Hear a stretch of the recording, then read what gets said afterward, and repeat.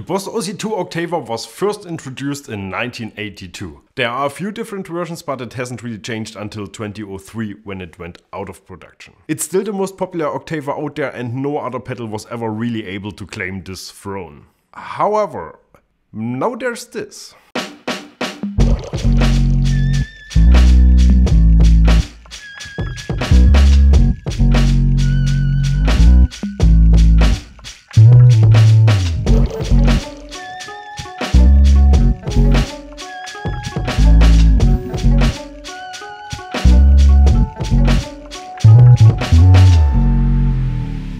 Yes, this is the new Boss OC5. My name is Gregor Fris and our bass player for today is René Flachsenhaar. I've been expecting an OC2 Waza Craft makeover for years, but I certainly didn't expect this, even though it is exactly what I wanted and even more, I guess. But before we get into that, uh, let's first test the OC5 against the old traditional OC2. And this is one of the allegedly better ones, which is bullshit, by the way. But uh, however, let's use the standard sound, which most people use. So octave one all the way up, everything else all the way down.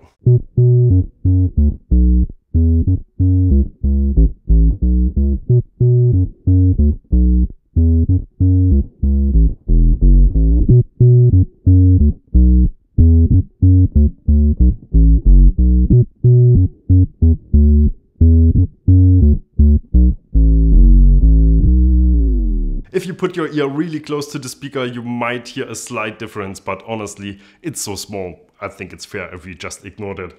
Um, but they fixed the main issue of the OC2 because this pedal was never loud enough, at least in my opinion. With the exact same sound that you just heard, this one is 5 dB louder, which is which is exactly what we were looking for. So thank you, boss. And now let's discover what's new.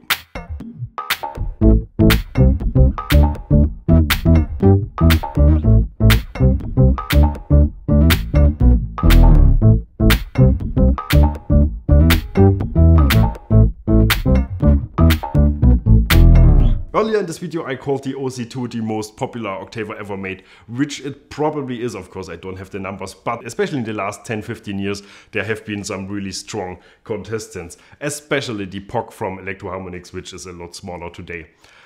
The lower octave on those has nothing against the OC2, the OC2 is clearly a lot better, but those have something else people have fallen in love with, an upper octave. It took me by surprise, but it really shouldn't. The, the OC5 also got an upper octave.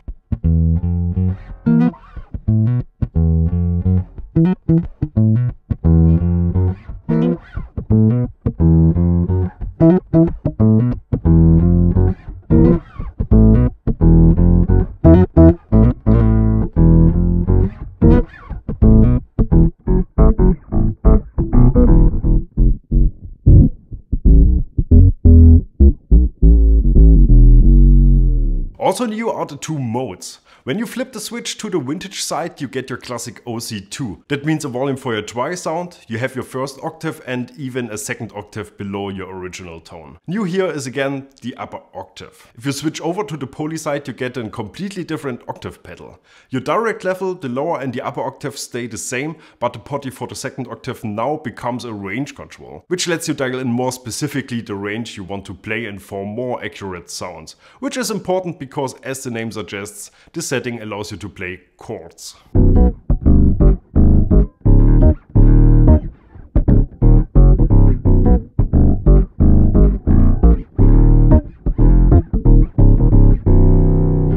The poly side has one more option. If you turn the range control all the way to the left, you engage the so-called lowest setting. And this is something very special.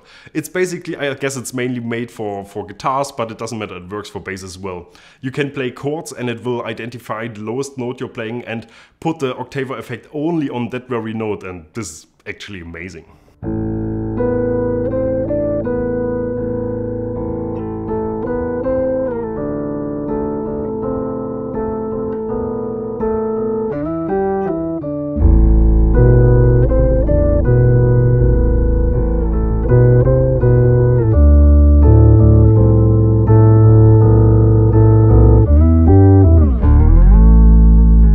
I feel kinda stupid now for wishing for a Waza Craft update of the OC2, but honestly, this is so much better. It is an OC2, it's an improved OC2, but it's also a lot more and I mean it's it's just so good.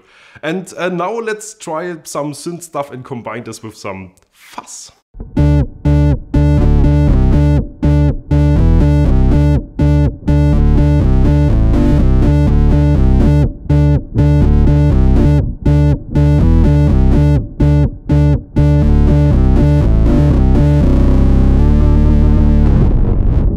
Man and woman, this is a really good pedal and I think I can now stop praising it because I hope the message came through that I, I, I love this. So if you liked the OC2, you will love this pedal. If you thought about buying a POG but you think it's way too expensive, you're right and guess what? You will love this pedal.